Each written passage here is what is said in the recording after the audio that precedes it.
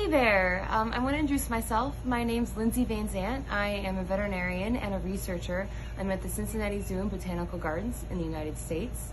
Uh, specifically, I work at CREW, the Center for Conservation and Research of Endangered Wildlife. So I just wanted to make this video and give a shout out to Mata Ciliar just to show the support um, of the important work they're doing and how it's helped me. So I've been working with Mata since, oh my goodness, it's been probably five years, uh, going down once or twice a year to work with them. And thanks to the diversity of animals they have, their expertise, um, we've been able to make a lot of advances in what we do here at CREW.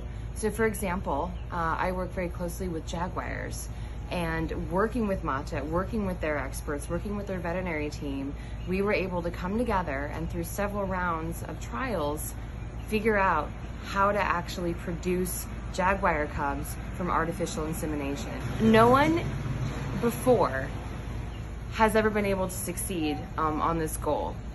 And thanks to the work we did with them, we were able to use artificial insemination and actually produce a jaguar cub um, using that technique. So I just want to make sure everyone understands how important what they do is, um, how important their work is, how dedicated they are, um, and just, yeah, hopefully uh, show my support and hopefully let that get across to you guys how important they are. Thanks.